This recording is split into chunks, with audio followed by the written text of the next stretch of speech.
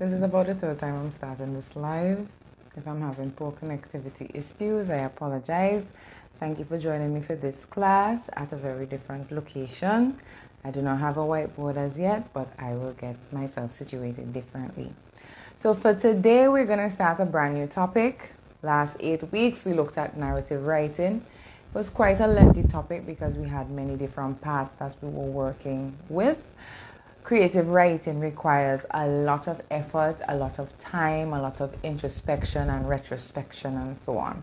But for this class, we are heading right back into our informative writing with persuasive writing. Now, when we did informative writing, we looked at letter writing for formal letters, we looked at report writing like incident reports and simple news reports, and we looked at expository writing. Those three types of informative writing, they are meant to inform and they are meant to give researched data, factual data. When we moved into narrative writing and we looked at creative writing, we were looking at the imagination and the creative process of putting words to images and images into words. Now we're going back into informative writing with persuasive writing. Now, persuasive writing is a little different when it comes to information purposes. That's because persuasion is the art of getting someone else to hold the same opinion as you do. Now, opinions are not facts, they can be based on facts, but opinions are not facts. Opinions are how we feel, our ideology, our feelings about something. So, as you can see, persuasion is somewhat creative because it requires you to have a perspective right? So when we did creative writing we looked at multiple perspective first person perspective. We looked at perspective how somebody views the world. But in narrative writing that was only for creativity purposes. That was for imagination and entertainment which is to give somebody something to consider to give them something that they can give careful consideration and thought to. But with persuasive writing, we're merging the two. We're merging our perspective with factual research. We're not basing it on imagination and creativity, we're basing it on factual research data. So, when we're looking at persuasion or persuasive writing, there are three things that we have to understand we have to understand firstly subjectivity. Subjectivity is my perspective based on me, the subject, right? So in my life, one fact in my life will not be the same fact in another person's life. For example, one fact in my life is that I am a mother. Not every woman or female that you meet will have the perspective of a mother because they may not have had any children as yet. So that would be a subjective perspective, which is a view or an opinion that is based on the subject that is viewing from that angle, from that scope. So that's subjectivity. Objectivity are facts that are true no matter who is the viewing subject or to whom you're speaking. So, one objective fact is that only women can bear children. That's an objective fact. Biologically, it can be experimented, researched, and surmised. Objective facts do not change on, based on location or based on individual, right? So China is located in Asia, St. Vincent is located in the West Indies. Those are objective facts. But when you look at, let us say, is Taiwan part of China or is Taiwan its own sovereign nation? Well, in St. Vincent and the Grenadines, from our subjective perspective, we acknowledge that Taiwan is a sovereign nation. But in China, they hold a very different opinion. So, when we look at what is objectivity and subjectivity, there are certain things that, can come in the middle of your subjective understanding based on objective truths. And that thing is called bias. So that's the next thing that we have to look at. Bias. What is bias? Bias is when someone refuses to acknowledge an objective truth because it does not align with their subjective experience. I'm going to take that again. What is bias? Bias is when an individual refuses to accept an objective truth because it does not align with their subjective experience. So, a Chinese individual who refuses to see Taiwan as a sovereign nation, they are operating with a bias. They are using their subjective understanding of what a sovereign nation is in order to determine whether Taiwan is independent or not. For someone like us in St. Vincent, where all we have heard is about Taiwan, then naturally we will use our understanding of Taiwan as a sovereign nation to say no, it is different than the Republic of China. Because we do not have that bias. Or maybe we do have a bias towards Taiwan. Now we can go into what are biases. There are 25 plus cognitive biases that affect how well we accept objective truths. That would be a psychology class. I'm not going to go into the psychology about it, but I can give you few examples as we look at the reasons why your persuasive techniques will work most effectively in your writing. So that's the first thing that we looked at in today's class. When doing persuasive writing, we are not only looking for informative writing and informative techniques like research, data, objectivity, and formal language, but we are also looking for your perspective, which is your view of the world based on your experiences, which is what we would have learned in creative writing.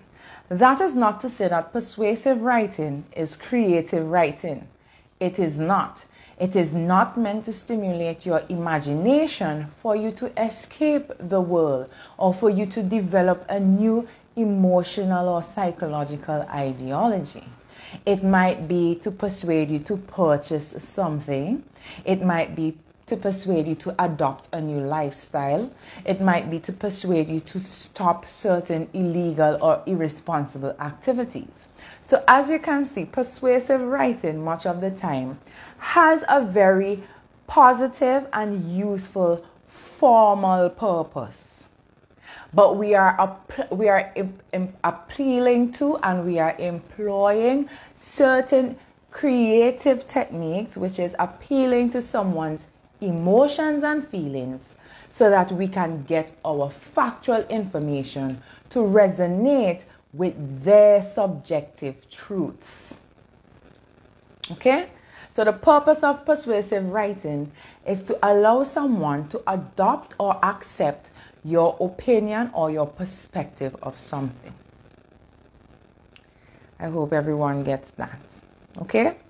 So, when we learn about objectivity, we learned about objectivity in the form of formal writing, those informative pieces that we did expository, letter writing, report writing all of those we learned about objectivity. Some of the objective writing styles or writing techniques that we use were number one, establishing a good introductory paragraph. Now, what is a good introductory paragraph? A good introductory paragraph is one that first has an introductory sentence that appeals to the reader's logic. How do we appeal to the reader's logic? We can use a quotation. We can use research information in the form of a fun fact, or we can use an anecdote, which is our personal experience that has relevance to the topic. Unlike narrative writing, where our introductory lines can be a literary device like an onomatopoeia. Boom, bam, went the loud clanging sound outside the city walls. That's not going to be in persuasive writing. But we must have an attention grabbing introductory sentence. After our introductory sentence, what do we usually have for informative writing? We are followed with background information or any definitions and clarifications that may be confusing to our reader if they do not have this previous information. So, in the form of informative writings, where we may be discussing Buljol, when we did how to make a Buljol for expository writing, many of us did not know that Buljol is what we call codfish. We simply say codfish. But the actual name of the dish made with the salted cod is Buljol. So we had to provide a definition and a description of what is Buljol for other readers and other audiences who may not know or may not have heard about the word buljol. So, after we had our introductory sentence that grabbed the reader's attention, we followed up with our definition, clarification, and description of the information that we were going to discuss in our body. After we gave this background information, we further went on to contextualize our information. In contextualizing our information, we basically gave the audience a brief reason as to why this information is important for them to learn. Because we're doing informative writing, we are meant to teach and inform at the end of our reader's experience. So it is important for our reader to know why we are writing this thing and why this information is pertinent to them. The next sentence that we had in our formula for informative writing is considered one of the most important sentences for informative pieces, which is our thesis statement. The thesis statement basically encapsulates all the information that you will be exposed to in the body of your essay. The thesis statement creates an objective perspective of what the reader is expected to learn when they are finished reading. The same way our usual classes begin with me putting three objectives on the board. At the end of the class, you should be able to know what is persuasive writing, the purpose for persuasive writing, and the structure or the general format of a persuasive piece. That is the objectives of this class. Much like your thesis statement in your essay, your thesis statement will have the three main points that you are going to deliver in the body that your reader should have a clear understanding of at the end of their reading experience. That is your introductory paragraph structure for your persuasive writing, much like that was the structure for your expository pieces. Just to give a quick recap. Now, when you are doing persuasive writing, your writing follows the format of your informative pieces. Your informative pieces in the first paragraph, known as the introductory paragraph, has an introductory sentence that grabs the reader's attention. You also need an attention grabbing sentence in your persuasive pieces. However, unlike the narrative where the attention grabbing introductory section is to expose and excite the reader, these introductory sentences are more to contextualize your information in a logical way to get your reader to start thinking from their logical mind.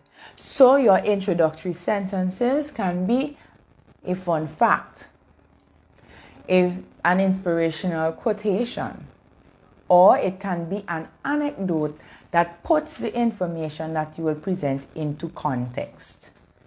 Your next sentence will then be a definition, clarification, or description of the information that you are going to discuss. So your content cannot just be thrown on the reader. You have to allow your reader to first be exposed to the content in the form of informing them of what this thing is about, why it is relevant, and how you know the the difference of this thing versus that thing, or how you can identify this thing in a real world setting. Your next sentence is going to, sorry if I cannot engage, I'm trying to, to, to um, I'm a grade 6 teacher. Do you mind coming to do an introductory session with my students? Yes, please, Kayleen. You can message me and I will definitely do that. Thank you so much for the invite. The next sentence will then be your contextualization of your what we call argument, right?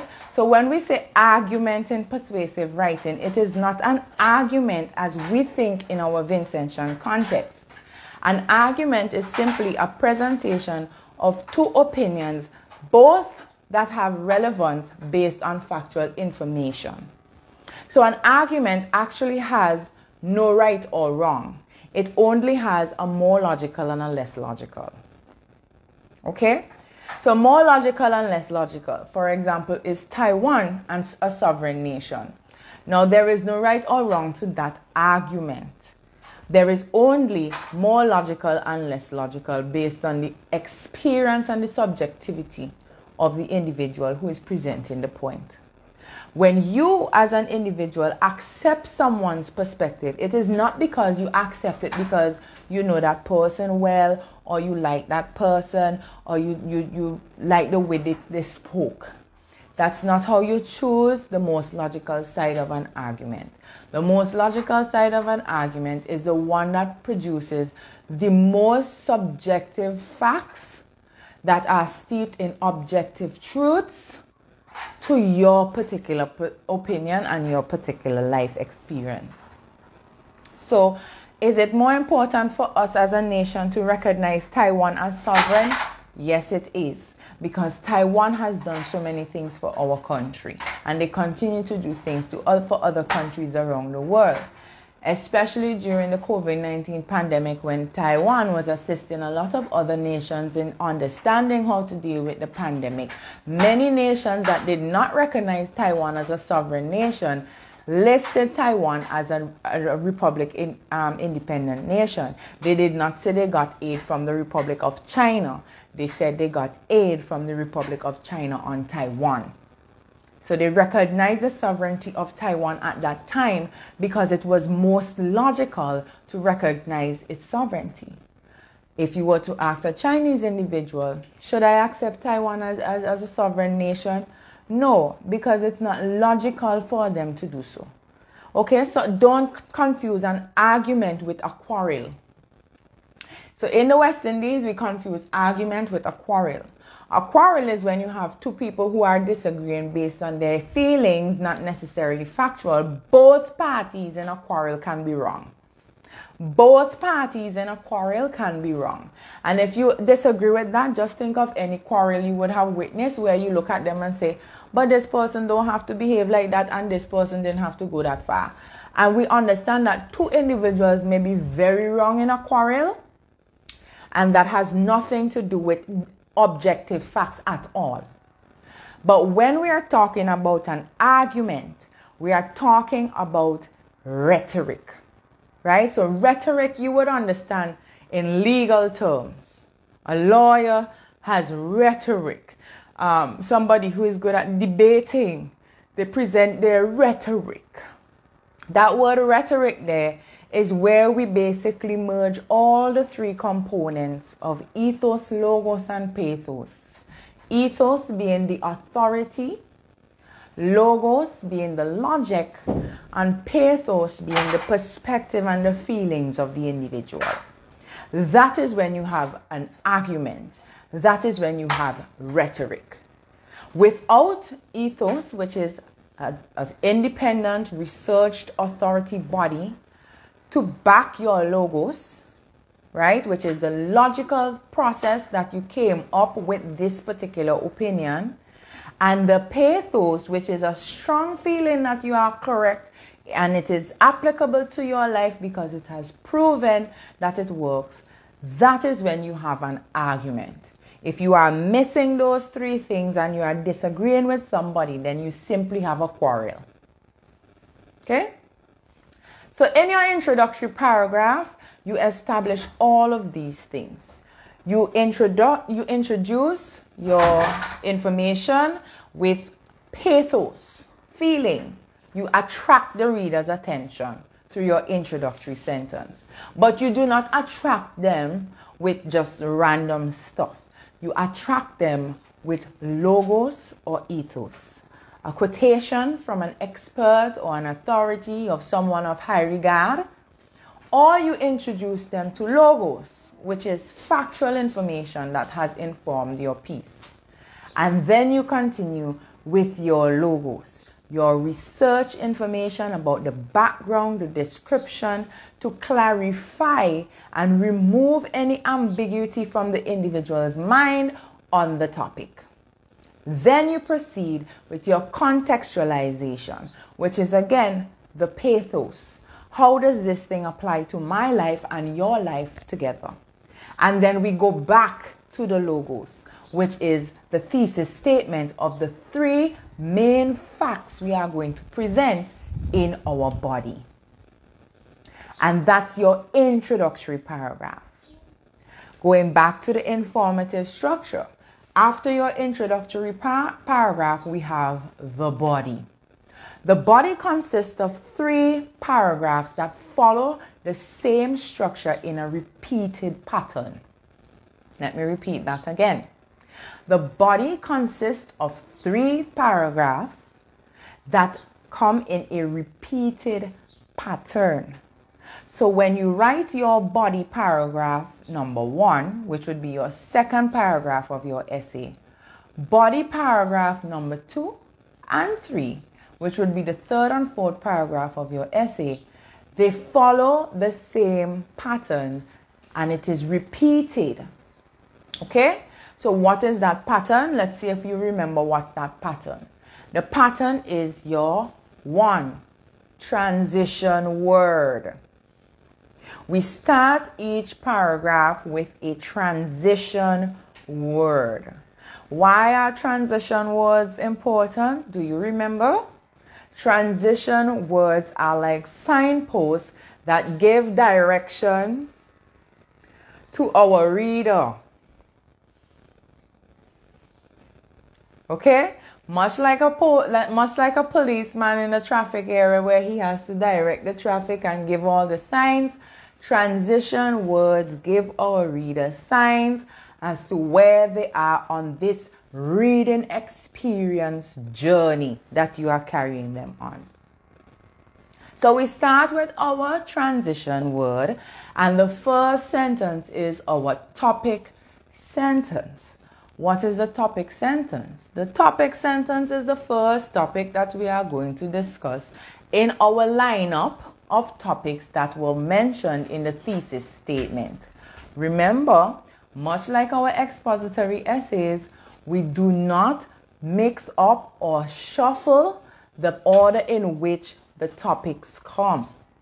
So when you list the order of the topics in your thesis statement, the order of your topics remain the same throughout the body of your essay. So the first topic mentioned will be the first topic for your first topic sentence. The topic sentence is going to do the same thing, much like our introductory paragraph. It is going to one, introduce the topic. So as we introduce the topic, we give the reader some again description, definition, clarification on what this topic is about. Okay? So let's say, for example, we're arguing whether Taiwan is a sovereign nation or whether or not it is part of China. The first thing we can look at in that regard is Taiwan's economy. Okay, so we can look at the economy. What is an economy? Not everyone knows what's an economy or how an economy is established or what even drives an economy. So, in order for me to get you to see from my perspective why Taiwan's economy is something that stands independently on its own, which can talk about its sovereignty. Because let's be real, everybody, when they start working, what's the first thing they say? I'm making my own money. That is not one of the number one reasons why people assume an adult personality or an adult responsibility when they start making their own money. So I can then argue that an economy is how a, a country uses, makes, and, util- and utilizes their own money. So I can then give a brief description of what is an economy. Then I will also give context. I will contextualize why my opinion of Taiwan's economy is important to the argument to establishing whether or not Taiwan is a sovereign nation. I can explain how an economy is used and how Taiwan uses its economy. Okay?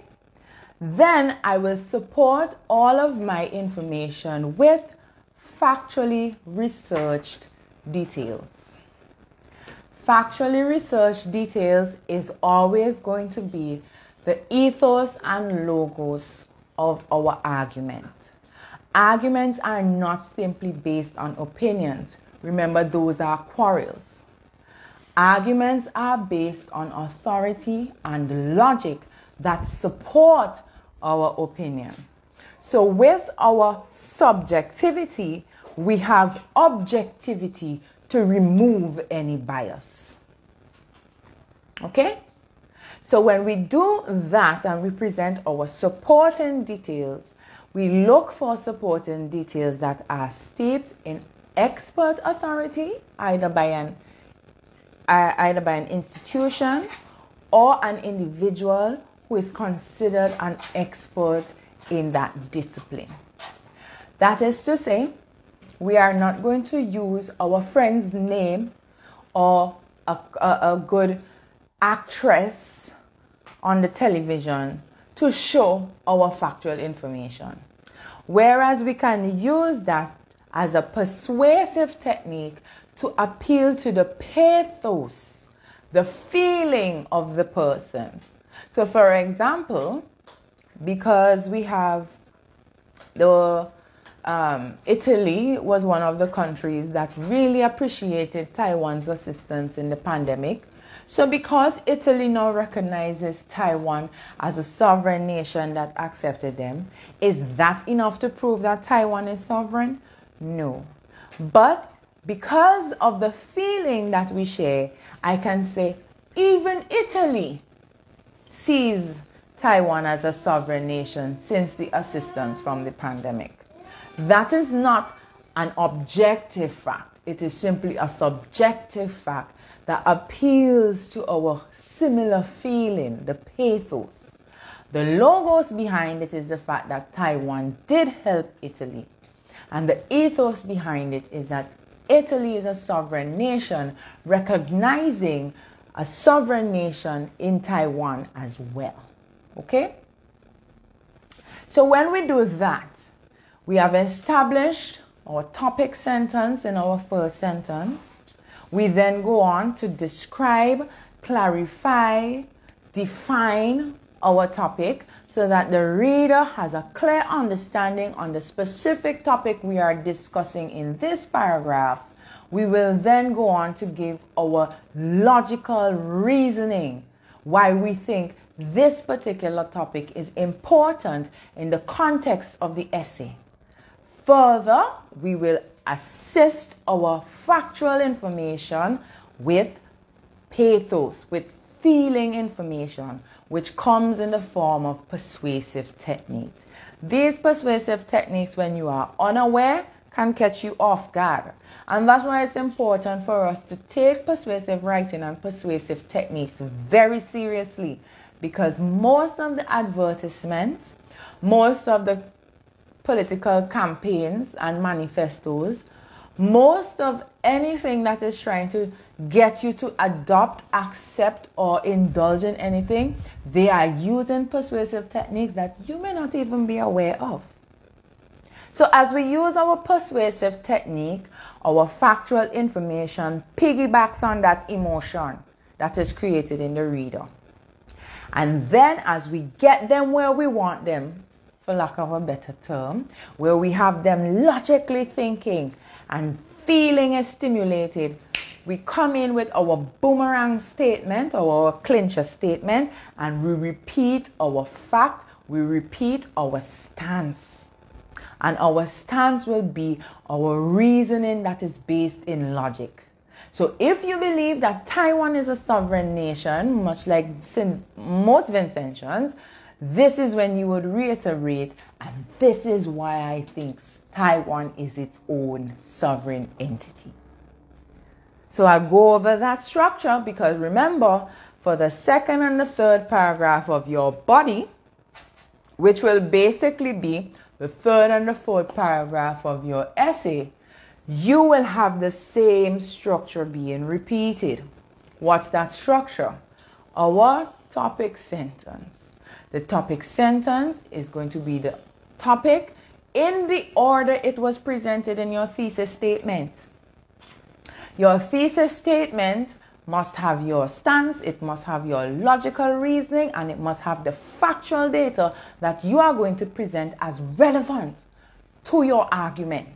Not your quarrel, but your argument. So when you have your topic sentence, you then move on from your topic sentence to your definition. When I say definition, sometimes things need definitions. Say, for example, you're looking at teenage pregnancy.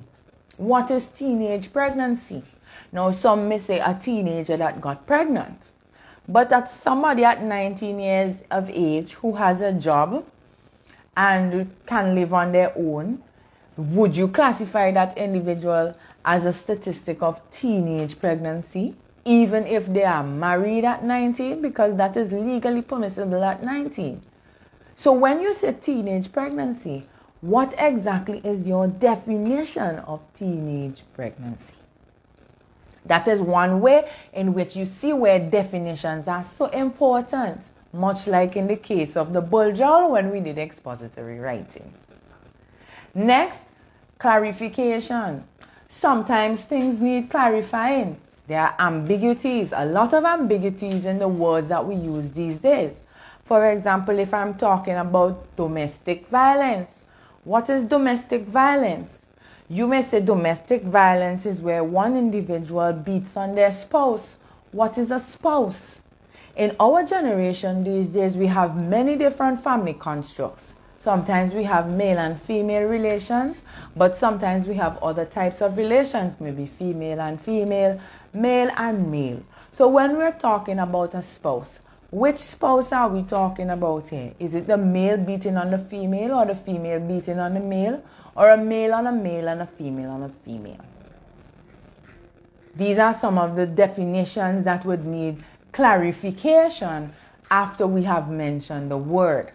So when I say definition and clarification, this is what I'm talking about. Certain things that may create confusion or ambiguity in our reader that may hinder their reading experience. Now, when I say contextualize the information, what am I talking about? Now, it's not enough to just start, start talking about Taiwan and China and China and Taiwan. Why is this information important? Now, for you, somebody who is living in a first world country in the US, this information may not be relevant. But for somebody like us in St. Vincent and the Grenadines, where let us say, for example, we are approaching the 2025 elections. And in the elections, the two opposing parties, the incumbent and the opposition, have very different views about Taiwan. Now, this argument about Taiwan's sovereignty and our connection to Taiwan will be important in the general political scheme, but also towards our government, towards our um, trade relations, our international trade relations, other opportunities for trade with other countries, etc., etc. Okay? Also, we are looking at expanding our economy. BRICS is on the rise. BRICS is looking to become a rival to the American dollar with their own dollar that they're going to create in January 2024. Is it wise for us to engage in economic trade with nations like Russia and the United Emirates, along with places like Taiwan?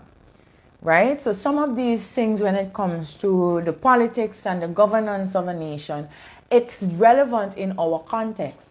To someone who is in a nation where they can supply their own needs and they're a first world developed nation, these sorts of arguments do not bear context. Okay? So when I say to contextualize something, let the reader know why this information is important. So if we're going to talk about the economy of Taiwan, why is the economy of Taiwan important? Firstly, what is an economy? And secondly, why is Taiwan's economy important in this discussion? Okay? So after we have contextualized our information, we then go ahead to present our logical reasoning that is supported by research factual data. Research factual data is objective information. So you present statistics, you present researched um, charts, you present, you're not going to put the chart in there, but you will put the chart into words right? So you will show those statistics and that data and those um, analytics, we call them. You will show those analytics in words, okay? And you will present that information, or you can present research information, maybe an experiment that is discussed by some experts in the field, maybe an economist who has clear understanding and critical analysis of certain things, just any expert that has factual information to support your point. Then we will then use our persuasive techniques that will appeal to the person's emotion. That can be a plethora of techniques. You will learn them all in the classes to come. And after you've got the person thinking logically, you've grabbed their attention and their emotions, they are now invested. We repeat our stance with our boomerang statement that brings our point right back home. And you will do this for both your second and third points. Lastly, in your five paragraphs persuasive writing essay structure, you will have your concluding paragraph. Much like your expository, your expository essays that we did, your concluding paragraph takes the same format. The first thing that you will have in your concluding paragraph is your concluding statement. Your concluding statement is a mirror to your thesis statement. Your concluding statement is a mirror to your thesis statement. So, the same way your thesis statement encapsulates everything that is discussed in the body of your essay, your concluding statement mirrors everything that you would have discussed in the body of your essay. So usually you can find your three main points that is in the body, both in your thesis statement and repeated and reiterated in your concluding statement. After you have given your concluding statement, you will then further elaborate on the contextual importance of what the person has just read. Again, it is mirroring your introductory paragraph. Basically, you're flipping it on the upside. So, whereas your thesis statement and your stance came last in your introductory paragraph, your concluding statement and your stance will usually be first. So, if you have your concluding statement and you have your stance, and you have contextualized the information and the importance of it to the reader, then you can go on and leave what we will call your provocative statement. Now, when you hear provocative, I don't mean provocative in the sense as in alluring and, and sexy. That's not what I mean. When I say provocative, I mean thought provoking. your thought provoking statement. So, much like in your introductory sentence, you got the reader's attention, right, with that thought provoking quotation, statistic, or fun fact that you use. In the last paragraph, you will then present a thought provoking sentence that allows your reader to ponder on the facts that you have presented and create or formulate their own opinion that aligns with your opinion that you presented in your stance. Okay, so I'm going to repeat that. Your last sentence is going to provoke thought in your reader. You're going to, yes, Auntie Nadine, you're going to give them something to think about as they move away from the writing. You don't want the information to just be lost on them. You want them to go ahead thinking about something. So, whether it is you want them to think about Taiwan's sovereignty and the assistance that they have given us, if we as a small island developing state, we are going to allow large country politics like the Republic of China to affect our benefits and our opinions about Taiwan and lose the benefits that we are getting as a country simply because we want to align with the majority. That's a thought provoking statement. Is it lucrative for you to chase away the hand that's feeding you? With no other assistance in sight. Okay? Now, that does not say that you cannot hold your opinion as to whether or not you think Taiwan is moving respectfully or inte- with integrity with us. You can have all of those opinions, right?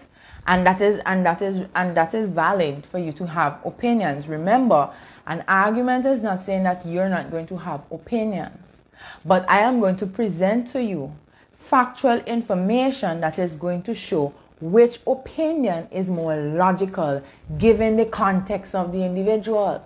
So, in a country like America where they have everything provided for them or whatever, this argument is not relevant.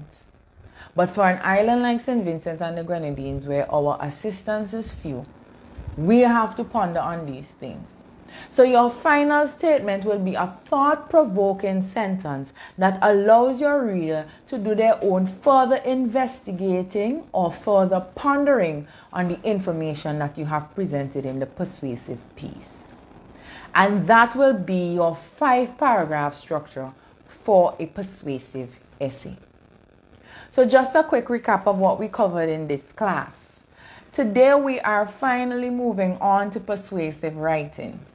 Persuasive writing is a form of informative writing that still requires an effective outcome. Effective, as we have learned it in the narrative writing sense, where the creative process stirs within us some thought or some ideology of which we must give careful consideration. Like our theme of our stories that teach us life lessons our persuasive essays are supposed to teach us something that should change and enhance our life in some way.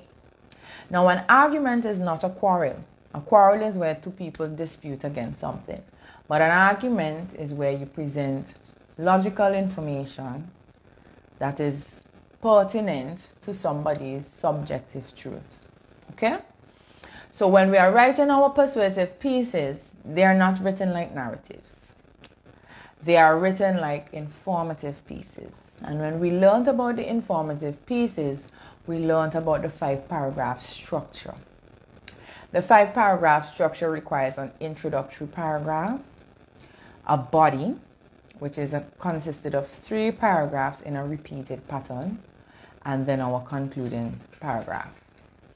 In our introductory paragraph, we have our introductory sentence, which grabs the reader's attention followed by sentences that provide description, definition, or clarification on the topic that is going to be presented in the body, followed by our thesis statement, which has our three main points. For the persuasive piece, our thesis statement will also include our stance on the argument or on the topic presented. Then we will proceed with our body paragraphs, which is our first transition word, which allows the reader to know where we are in the in the writing journey, in the reading journey. So we present our transition word, followed by our thesis statement. Sorry, followed by our topic sentence.